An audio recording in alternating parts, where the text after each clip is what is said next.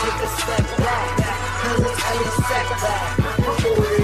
now, as for you, man, um, I gotta talk to you a bit about what you've accomplished with your father, man, with your training facility and everything. Uh, when you guys reflect back on that, how far have you come? Very far, very far. It's, uh, it's been a long time coming, even with the facility itself. He spoke on all the things he wanted, everything he was gonna do.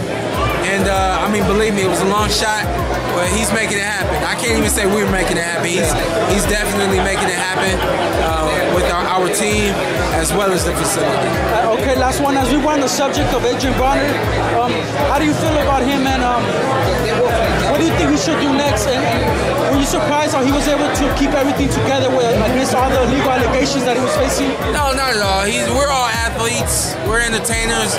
We're fighters. We have to do what we have to do.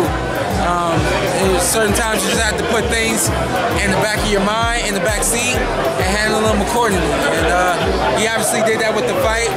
As uh, as far as I know, he, uh, he he's gonna settle or something like that out of the court, and uh, he'll be fine um, moving forward.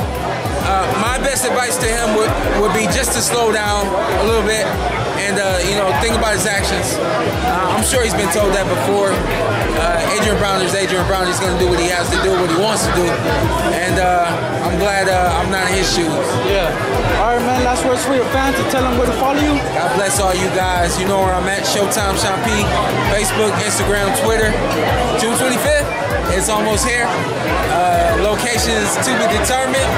You will be you will be seeing Showtime Shawn Porter against Keith Thurman real soon.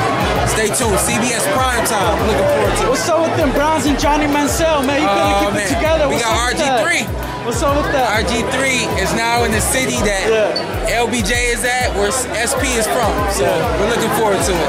I'm looking forward to the, to the city. Appreciate your time, man. Thank. You